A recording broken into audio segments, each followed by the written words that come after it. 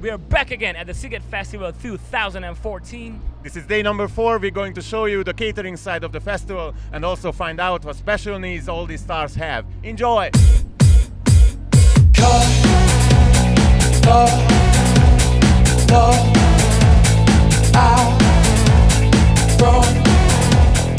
Hi, we're Mary Popkids from the backstage of Sziget Festival's main stage. Take care.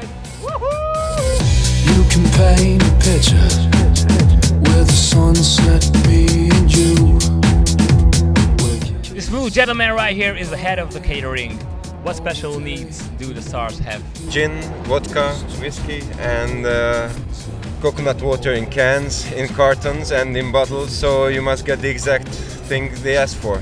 No midget go-go dancers? No, some extra special needs, but I will not talk about that one. All right.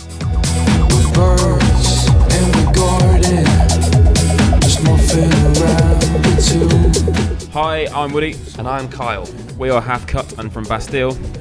and we're here at Sziget Festival and we're very excited about it. Very. Sunset, sunset, where we headed to. Hi, this is Fink at Sziget Festival, one of our favourite festivals in Europe. It's wet, but it's going to be wonderful. Sunset.